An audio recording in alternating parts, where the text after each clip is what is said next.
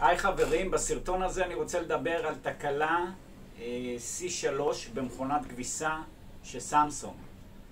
תקלה E3 אה, מראה על בעיה או בכרטיס או במנוע.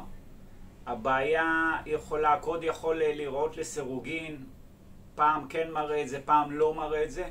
זה תקלה או בכרטיס או במנוע, רוב הסיכויים ב-70% מהמקרים זה בעיה בכרטיס. אבל כשאני מגיע אליכם, אני צריך לפרק את הכרטיס ואת המנוע, לקחת את זה למעבדה, לראות מה ביניהם נדיר ששניהם אה, לא תקינים. אה, במידה והבעיה במנוע או במידה בכרטיס, מתקן את זה, מרכיב את שני הרכיבים בחזרה, והמכונה חוזרת לעבוד. התיקון של הכרטיס בדרך כלל זה מהיום למחר, אני מגיע אליכם, אני מפרק את הכרטיס ואת המנוע. לוקח את זה למעבדה, יום למחרת אני כבר מגיע אליכם להרכיב את זה. אה, אז ככה, אם אתם רוצים לקבל ממני שירות, אתם מוזמנים להיכנס בתחתית הסרטון, יש שם לינק, להיכנס, לראות באיזה אזורים אני נותן שירות. אה, תרצו להיעזר לי, בשמחה רבה. אה, אתם מוזמנים ליצור איתי קשר.